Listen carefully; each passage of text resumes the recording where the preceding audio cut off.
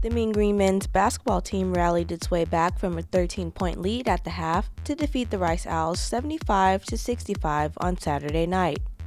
The Mean Green had five players in double digits, including senior Jordan Williams, who led North Texas with 19 points.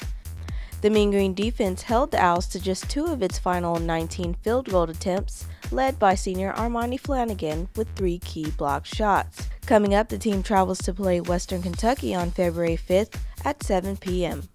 North Texas tennis faced a tough battle Sunday morning, falling to the University of New Mexico. On Saturday, the Mean Green was just one singles match away from a win over Nevada. But the tables turned quickly against North Texas as the Wolfpack clinched a 4 3 comeback win.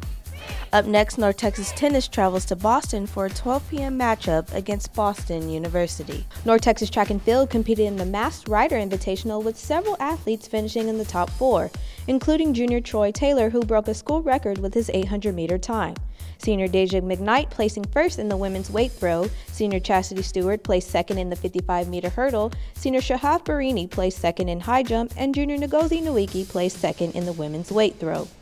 Up next, the Mean Green will compete at the New Mexico Collegiate Invitational in Albuquerque, New Mexico on February 6. Despite picking up seven wins against TCU, the North Texas swimming and diving team was not able to follow up with place finishes, losing to the Horned Frogs 168 to 130. North Texas Swimming and Diving now prepares to host SMU for senior night at the Pohl Recreation Center Natatorium. The meet begins at 5 p.m. In women's basketball, Rice managed to slip away from North Texas in overtime with a final of 58 to 55.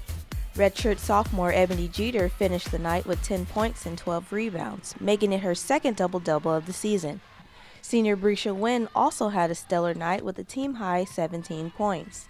North Texas returns to the Super Pit on February 5th to take on Western Kentucky. And North Texas softball opens up its season this Friday against Seton Hall at 12 p.m. at Lovelace Stadium. And that's it for this week's Mean Green Minute. Tune in next week to meangreensports.com for your update on North Texas athletics.